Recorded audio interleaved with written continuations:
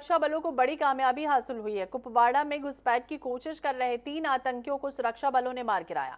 सुरक्षा बलों के साथ मुठभेड़ में मारे गए ये तीनों आतंकी। लश्कर ए तैयबा के बताए जा रहे हैं। कुपवाड़ा के जुमागुंड गाँव में आतंकियों की ओर से घुसपैठ की कोशिश की गई। विशेष सूचना मिलने के बाद पुलिस ने अभियान शुरू किया था, जिसमें तीन आतंकी मारे गए। कश्मीर जोन पुलिस ने जानकारी देते हुए बताया है कि कुपवाड़ा में आज सुबह हुई एक मुठभेड़ में लश्कर ए तैयबा से जुड़े तीन आतंकियों को ढेर किया गया। इससे पहले बुधवार को बारामूला के करेरी इलाके में सेना और आतंकियों के बीच मुठभेड़ में सुरक्षा बलों ने तीन आतंकियों को मार गिराया। आतंकियों के पास से भारी मात्रा में गोला बारूद बरामद किया गया। तो सुरक्षा बलों को बड़ी कामयाबी मिली है। दो दिन में छह आतंकी मारे गए। आतंकियों के पास से हथियार और गोला बारूद बरामद हुए हैं। तीन आतंकियों को ढेर किया गया। कुपवाड़ा में घुसपैठ की कोशिश कर रहे थे, नाकामी मिली है। सुरक्षा बलों ने लश्कर के तीन आतंकियों को ढेर किया।